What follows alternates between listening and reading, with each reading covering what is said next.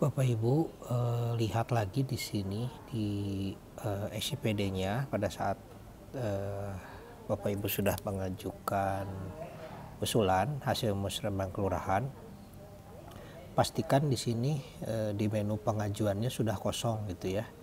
Jadi kalau yang sudah betul ini contohnya Neglasari ini pada saat eh, monitor usulan ini sudah pindah semua ke sini jadi eh, kalau yang masih di sini masih ada di ada di kolom pengajuan, ini pastikan klik ajukan usulan.